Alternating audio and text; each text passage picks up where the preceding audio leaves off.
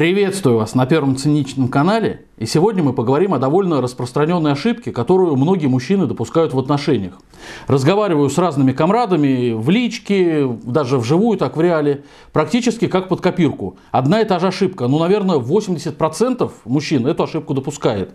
Ну, если в общем, то это банальное неумение разговаривать с женщиной. Банальное неумение задавать вопросы. И вообще какое-то патологическое желание усложнить ситуацию. Вы можете задать вопрос вашей женщине, там, девушке, женщине, жене, получить на него ответ, но нет. Какой-то штирлиц прям включается, не надо задавать вопрос, надо делать, что вообще как бы меня ничего не интересует. Это как в анекдоте. Штирлиц там бежал э, со скоростью 100 километров рядом с Мерседесом Мюллера и делал вид, что не торопится. Короче, все, меня ничего не интересует. Но что она подумала? Что она, скажем так, замышляет? Задайте вопрос, друзья. Реально неумение просто задать вопрос. Ну, я бы даже сказал не то, чтобы неумение, боязнь. Просто подается это как неумение, какая-то более сложная линия поведения, угадать, а уж не обманывает ли она меня. И в итоге что получается? Разваливаются отношения, разваливается семья, ух, блин, меня обманули. Да, меня обманули. Казалось вот такой, казалось правильной, там демо-версию крутила, и бах, на тебе оказалось. Но вот это вот была правильной, казалось правильной. Как правило, вот эта информация, она берется из ваших догадок. То есть вы пытаетесь как-то интерпретировать поведение, строите там какую-то цепочку выводов логических, что если она так сделала, это значит это, а это в свою очередь значит это. Но, как правило, в этой цепочке нету просто вопроса. Вы не задавали вопрос. И вполне возможно, если бы вы задали вопрос свое время, то ничего бы вам не казалось, вам бы четко дали на него ответ. Короче говоря, друзья, я советую просто составить список вопросов, которые вас волнуют в отношениях, и напрямую задать их вашей девушке, женщине или жене. Э, просто конкретные вопросы. И вполне возможно, что не будет никакого шифрования, не будет э, никакого там штирлица, опять же, вы перед собой не увидите. Вы получите ответ, который, может быть, для вас расставит точки над «и». Ну, самые такие простые вопросы я бы, что бы посоветовал задать, но это индивидуально. Это все-таки смотрите по себе. Ну, например, если вдруг ваш доход резко снизится. То есть, опять же, многие потеряли зарплату, потеряли работу, о, блин, жена ушла. Была рядом, все, был нужен, а теперь стал не нужен. А вы ее спрашивали? А вы спрашивали в ваших отношениях, что будет, если я потеряю работу? Ну, такое же возможно. В жизни, в принципе, ну, я не знал человека, который бы, скажем так, не оказывался на мели. То есть, э, если вы планируете какие-то длительные отношения, э, такую вещь нужно уточнить. И вполне возможно, что скажет, ну, там, подожду какое-то время, да и все и next, потому что мужчина должен, потому что мужчина, который не может заработать, это, ну и так далее. Я думаю, что здесь объяснять э, не нужно. Зачем пытаться угадать? Зачем пытаться верить в какое-то там прекрасное далеко? Спросите напрямую. Ну, люди, на то они общаются, чтобы какую-то информацию узнавать. Дальше. Э, меньшая вероятность, но все-таки очень неприятное, скажем так, событие, вероятностное в жизни. Что, если станете инвалидом, например? То же самое у человека ухудшается здоровье, разваливается семья. А вы спрашивали? Понятно, что может наврать. Но здесь вы хотя бы уже использовали все инструменты. Вы не используете в большинстве случаев самый простой вопрос, прямой вопрос. Что если там снизится зарплата? Что если стану инвалидом? Ну что бы я еще посоветовал? Что если откажусь выполнять твои хочушки? Понимаете, очень часто мужчина оказывается в отношениях, Опять же, неважно в каком статусе, с девушкой, ну, как правило, это отношения, идущие там э, к ЗАГСу. Он оказывается в отношениях на роли. То есть не нужен там Иван, Петр, Михаил, нужен муж, допустим, муж, отец детей, э, ресурс, кто угодно. Может быть, это унизительная какая-то должность, э, то есть ресурс. Может быть, это, в принципе, это нормальная должность, муж. Но пофигу кто, личность не нужна.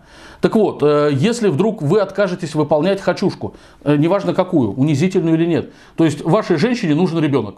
Вот стукнула ей программа в голове, там сработала, гормоны, хочу родить. Все, она просто ищет на роль отца ребенка, может быть, чтобы с ней был, может не был, неважно, она ищет на роль отца ребенка мужчину.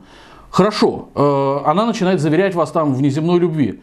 И спро- тогда спросить, если вы видите, что ситуация такая, спросить, что хорошо, а если мне, например, ребенок не нужен? Я или несуществующий ребенок?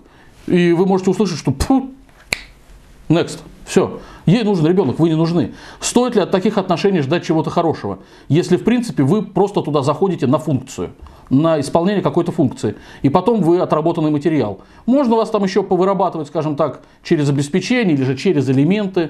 То есть обеспечение, когда вы рядом, или же когда вы через приставов общаетесь. Ну, хорошо. Нельзя, не надо. То есть вы, в принципе, заходите на отработку там одной, двух, трех функций, не более. Стоит ли такие отношения продолжать? Дальше, что будет, если вы перестанете прогибаться? Там, не знаю, подарки дарить. Э, кто-то мне в свое время из оленей написал в комментариях, э, что спросил у жены, что было бы, если бы я там не оплатил на первом свидании. Она сказала, что все, не, продолж... ну, не стала бы отношения продолжать. И вот этот олень как бы он себе это в достоинство, что ли, вписал, что вот, вы там все лохи, неудачники, вот я у жены спросил, она достойная, как говорится, женщина, сразу сказала. Но понимаете, если вы олень, то, наверное, и спрашивать не стоит, как говорится, глаза зашорены, вот тебе показали направление, беги.